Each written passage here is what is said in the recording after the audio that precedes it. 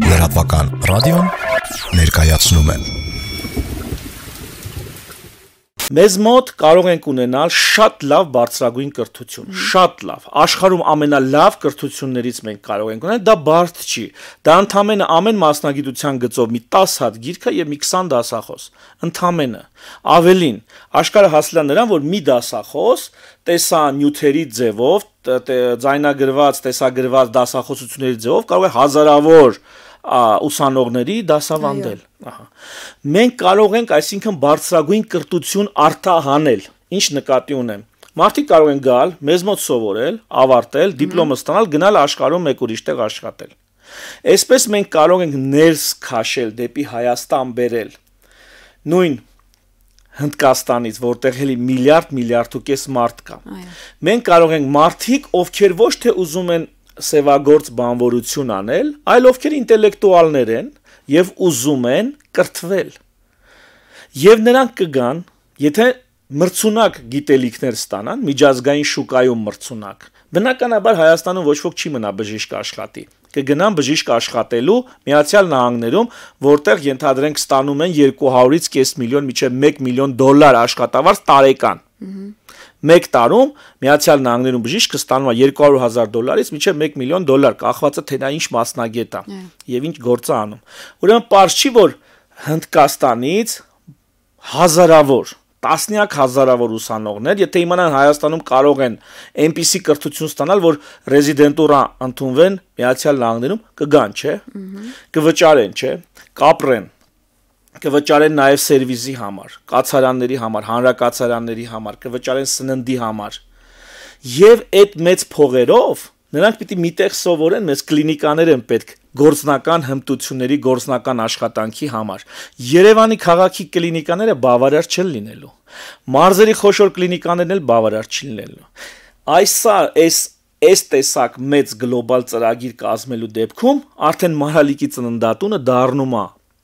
օրվա կարևորություն իր գոյությամբ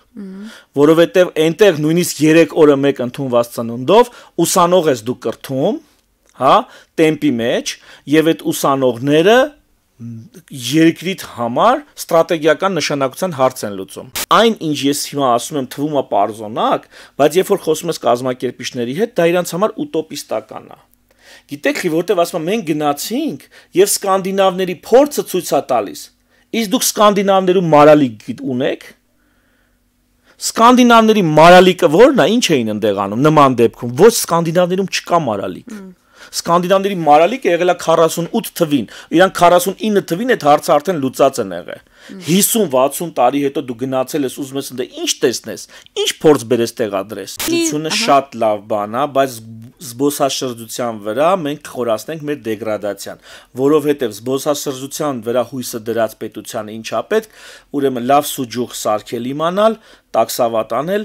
եւ մատուցող աշխատել։ Մի հոգի էլ պետքա լվացքատուն աշխատացնի, որ այդ զբոսաշրջիկների սավանները կեղտոտած լվանա նորից փռեն հաջորդ զբոսաշրջիկի համար։ Զբոսաշրջությունը ապահովող երկրին ավելին անհրաժեշտ չէ։ Ես դիմում եմ մեր կառավարությանն ու իմ ժողովրդին ձեր ցավը տանեմ։ Մենք դա ենք երազում դառնալ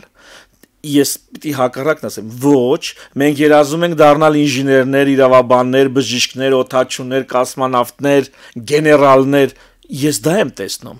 ուրեմն այսօր եթե մենք սուջուխ ենք սարքում ինչ ինչ մտքով որ երեխաս կգնա